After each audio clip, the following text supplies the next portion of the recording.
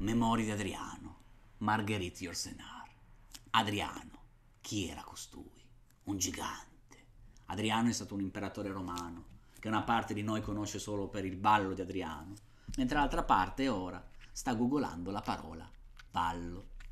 Molto bene amici, qui siamo di fronte ad un'opera densa di riflessioni psicologiche, filosofiche, tra medicina 33 d.C. e ellenismo erotico, che lubrifica i concetti di umanità, felicità e libertà. Insomma, qui c'è tutto il kit necessario per rimorchiare a mani basse.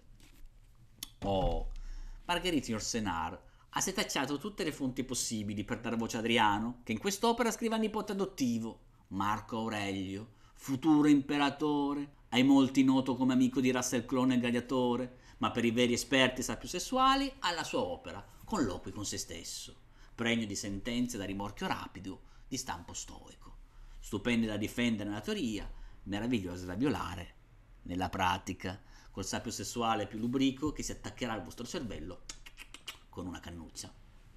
Oh, ma prima di cominciare, come di consueto, due slide sull'autrice perché ben presto ci dimenticheremo che è lei a scrivere, non Adriano, e ogni volta che ve lo ricorderete penserete, eh ma che... Però per queste slide voglio ringraziare Aurora, una fan che ci segue da tanto tempo, che mi ha detto di essere esperta nel digital, essendo lei una webcam girl, e devo dire che ha fatto un lavoro davvero eccellente. Oh, nel 1903 nasce in Belgio presso una famiglia aristocratica Margherita Antoinette Jean-Marie Ghislaine Klinwrick de Croyancourt. Non andò a scuola, ebbe un'educazione privata, si presume per evitare di far perdere agli studenti un'ora di lezione durante l'appello. Ha accorciato tutto con Yorsenar, che tra l'altro è un anagramma. All'età di 10 anni, invece che sfogliare i cioè, si buttò nello studio del latino, del greco, dell'italiano, non a caso le tre lingue con cui è più facile rimorchiare. Amante del mondo classico, nel 1924 andò a Roma e oltre ad assistere alla parodia dell'impero romano trovandosi per caso spettatrice della marcia su Roma, fu folgorata dalla villa Adriana e iniziò a prendere appunti sull'imperatore Adriano per un'eventuale biografia non autorizzata. Nel 1937 incontra a Londra Virginia Woolf, Poteva forse nascere qualcosa, ma tornata a Parigi si innamora della donna della sua vita, la statunitense Grace Frick, insegnante di lingua inglese, al cuore sapiosessuale non si comanda e si trasferisce negli Stati Uniti. Tempo un paio di anni e scialacqua l'eredità del padre e si trova nell'ultimo scalino della società americana, un lavoro come insegnante. Ma continua a scrivere e per trovare la giusta ispirazione di scrittura si trasferì nel Maine. Se ha funzionato con Jessica Fletcher, perché no? E arriviamo al 1948. Amici, ricordate di questa data? Marguerite riceve dall'Europa alcuni vecchi bauli, quelli che quando fai un trasloco decidi che non sono così importanti, non quanto un buon phone. Ecco, in quel baule c'erano gli appunti sull'imperatore Adriano si butta a capofitto in questo mondo ritrovato, manda a fanculo gli allievi che tanto non ce l'avrebbero fatto allo stesso nella scuola pubblica e nel 1951 nasce Memorie d'Adriano. Grande successo del romanzo, a 48 anni Marguerite Yourcenar si afferma come scrittrice, a 48 anni! Può continuare a scrivere, a viaggiare, a prendersi premi a pioggia, tra cui nel 1980 fu eletta prima donna nella storia membro dell'Académie Française. E a questo punto che mi viene sempre in mente una frase del suo Adriano. Ciascuno di noi ha più talenti di quello che non si creda, ma solo il successo li mette in luce. Veniamo a noi. Prima osservazione da sciorinare. Che genere di opera è? I critici letterari fin dalla sua uscita hanno dibattuto fortemente su come collocare Memorie di Adriano. È un romanzo storico, un romanzo filosofico, è un romanzo saggio. Oggi per fortuna la nostra cultura evoluta ci ha permesso una chiara e ben precisa identificazione. È un libro, già è tanto se te lo leggi. Ecco, io, scusate, volevo dirvelo, io tengo in mano un'edizione Mondatori del 1988 con traduzione di Lidia Storoni Mazzolani, nome non semplice da ricordare, ma che tirato fuori al momento giusto può essere facilmente combinabile con Vien dal mare, che fa simpatia e rende la vostra cultura decisamente meno pesante. Se la vostra preda ride, il più è fatto, potete tornare a parlare del gladiatore di Russell Crowe. Ma adesso addentriamoci. Di che cosa parla esattamente quest'opera? Margherita Yourcenar fa raccontare sotto forma epistolare ad Adriano la sua vita. È una sorta di bilancio. Quindi abbiamo un imperatore, Adriano, che in prima persona, alla fine della sua vita, si racconta Marco Aurelio. Il primo capitolo, amici, si apre con la sua malattia. Adriano dice chiaramente di essere alla fine dei suoi giorni. Dice che si trova in quell'età in cui la vita per ogni uomo è una sconfitta accettata. A 60 anni, amici, i romani a 60 anni si preparavano alla morte e a noi toccano invece ancora 15 anni di contributi e almeno 20 da Granny, che non sono mai da buttare, amici, e amiche, che le preferisco, anche Granny. Un ottimo spunto è dato dal rapporto che ha Adriano con il suo medico Ermogene, che continua a propinargli erbette orientali, buone solo per farci il bagno schiuma. Diffidenza verso la medicina o verso l'omeopatia? All'epoca cambiava poco, per fortuna oggi. Vabbè, passiamo ad altro. Dunque, per Adriano il corpo, di cui si è sempre fidato, ora è diventato un mostro subdolo, che sta per divorarlo. Ed è in questi punti che vacilla il suo stoicismo, scrive conosco meglio il mio corpo che la mia anima. Il nostro corrispettivo è di conosco meglio il mio profilo Instagram di me stesso. Dunque siamo di fronte ad un genere memorialistico. È chiaro, Margherita Yourcenar usa proprio la tecnica dell'Orazio romana, un Orazio che le viene talmente figa da definirla una vera e propria togata. Ah, che Orazio togata. Amici, questo libro lo dovete acquistare e metterlo da parte. Sono solo sei capitoli, ma così densi di riflessioni e aforismi che vi basterà semplicemente spulciare quelli più adatti alla vostra personalità. Adriano che parla di guerra, politica, ma anche di amore, morte, cultura, cucina, psicologia, arte. Insomma, è un quattro chiacchiere con Montemagno che una volta finito non vi fa sentire l'urgente bisogno di aprire una partita IVA. E dimmi che poco, e dimmi che poco.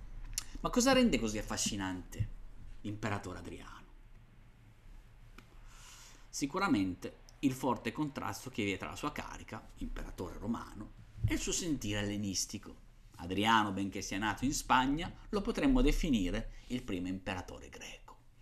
Scrive Adriano, il vero luogo natio è dove si è posato uno sguardo consapevole su se stessi. La mia prima patria sono stati i libri. Io ho molti amici, ad esempio, nati sul postal market e non mi sorprende che oggi ci siano così pochi sapiosessuali. Tutto dipende da dove i nostri figli si ritroveranno durante la loro consapevolezza ed è difficile formarsi bene dopo 10 secondi di TikTok. Almeno 20. Dunque, i libri per Adriano sono fondamentali.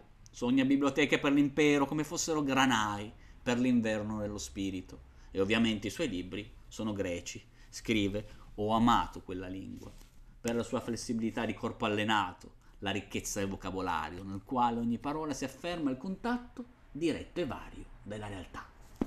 Notate l'erotismo del logos che si trasforma in corpo, che i cristiani hanno deturpato rendendolo Dio e francamente, in antitesi con il bello Apollinio, è il rimorchio dionisiaco. Fate una prova. Se uno cita Euripide, magari concludete con una nota di sesso. Se ti citano il Vangelo secondo Matteo, beh, magari sei davanti a un serial killer e non avere le mutande pulite è l'ultimo dei tuoi problemi. Ma continua. Continua Adriano, ho amato quella lingua, quasi tutto quello che gli uomini hanno detto di meglio è stato detto in greco. Il rapporto con i suoi maestri greci è qualcosa di intimo. Il vero seduttore non è Alcibiade, ma Socrate, il primo attrattore di sapio sessuale della storia, a livello seriale, che però si era dato una regola, niente donne e maggiorenni. Si parla ovviamente di nuove acquisizioni, perché lui una moglie ce l'aveva e occupava già entrambe le categorie. Adriano dunque ammette, l'impero l'ho governato in latino, in latino sarà inciso il mio epitaffio, ma in greco ho pensato, in greco ho vissuto e in greco amato. Antineo, un teenager efebico conosciuto in un villaggio vacanze in Bitigna. L'amore li travolge, ma Adriano deve stare accorto perché seppur il suo rapporto viene accettato, seppur accettato il suo rapporto segreto con il giovane, scrive Adriano, Roma è inclina all'insolutezza, ma non ha mai approvato l'amore in chi governa. PS, pagate le oggettine. Tuttavia, come scrive Adriano, la ragione si smarrisce di fronte al prodigio dell'amore. L'amore ci trascina in un universo insolito, ove in altri momenti è vietato avventurarci e dove cessiamo di orientarci non appena l'ardore si spegne e il piacere si placa. Avvinto al corpo amato come un crocifisso alla sua croce, ho preso sulla vita segreti che ormai si dileguano nei ricordi, per opera di quella stessa legge che impone al convalescente guarito di dimenticare la verità misteriosa del suo male, al prigioniero una volta libero di obbligare alla tortura e al trionfatore la gloria quando l'ebbrezza del trionfo è svanita. Oh, se non siete in questa fase qui, mollate tutto e ricominciate da capo. Inutile soffiare sulle braccia insieme allo psicologo di coppia. Piuttosto provateci con lo psicologo o con la psicologa, che la preferisco. Tuttavia, l'amore tra Adriano e Antino ha alti e bassi. Un po' perché Adriano non si nega altre amanti e il giovane è ancora troppo puro, ne soffre. Un po' perché lo stesso Antino sta invecchiando. Dopo due anni si notano i segni del tempo. Dice il mio pastorello diventa un giovane principe. Oh, a 19 anni, a 19 anni, che per noi è legale, per i romani è vecchio. Ci vuole tempo per il saggio Adriano per capire che la cosa inizia a non funzionare, finché un gesto gli fa intuire che qualcosa si è rotto. Antino si suicida. Antino si suicida. Uomini, eh? Oh, ma siamo fatti così, finché proprio non ci parlate chiaro. Vabbè, si suicida Antino.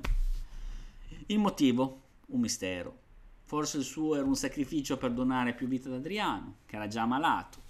Vuoi per rendere eterna la sua giovinezza? C'è chi pensa a un incidente, chi a un omicidio, non lo sappiamo.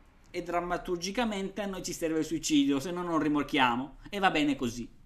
Una cosa è certa: Adriano inizia ad amarlo molto più da morto che da vivo. Ora, considerate questa cosa che seppur accettata a Roma la pederastia di stampo greco, previo essere attivi, perché il mos maiorum richiedeva perlomeno discrezione e rispetto per la moglie, oh, fai quel che vuoi, ma non farti beccare, questa era una regola. Bene, in nome della descrizione Adriano fonda una città con il suo nome, Antinopoli dà il suo nome a una costellazione, inizia a celebrarlo con, con, giochi, a celebrarlo come divinità, fa costruire così tante statue che non è stato possibile abbatterle tutte, e poi ancora monete col suo volto, una festa pubblica il 27 novembre, il giorno della sua nascita. Se di fronte al proprio medico è difficile rimanere imperatori, figuriamoci di fronte all'amore. C'è chi pensa che Antino fosse schiavo, ma è un'ipotesi da scartare, lo si capisce bene Primo perché sarebbe stato inammi- inammissibile divinizzarlo anche per un imperatore. Secondo, Adriano cercò di combattere o quantomeno regolamentare la schiavitù. Nessun sistema filosofico riuscirà mai a sopprimere la schiavitù, dice. Al massimo ne muterà il nome. Si possono immaginare forme di schiavitù peggiori delle nostre, perché più insidiose sia che si riesca a trasformare gli uomini in macchine stupide appagate, che si credono liberi mentre sono asservite, sia che si imprime in loro una passione forse nata per il lavoro, tale da escludere gli svaghi, i piaceri umani. A questa schiavitù dello spirito e dell'immaginazione umana preferisco ancora la nostra di vecchio stampo. Oh, se regolamentata poi da una mistress è meglio. Piccolo omaggio ad Andrea, ciao, lo so che non mi segui. Eccoci qua. Animula vagula, blandula. Compagna ospite del corpo, ora t'appresti a scendere in luoghi ardui, incolori e spogli, ove non avrai più gli svaghi consueti, un istante ancora, guardiamo insieme le rive familiari, le cose che certamente non vedremo mai più. Cerchiamo di entrare nella morte, ad occhi aperti. Oh, se non rimorchiate con questo, scrivetemi in privato vinciamo noi.